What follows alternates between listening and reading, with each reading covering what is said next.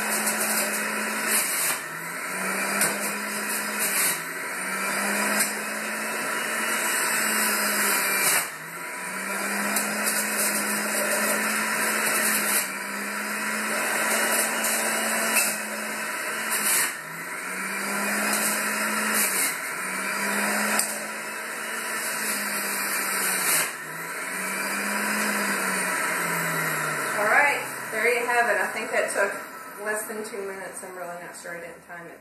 But again, this is a recipe for mean green for from the documentary Fat, Sick, and Nearly Dead.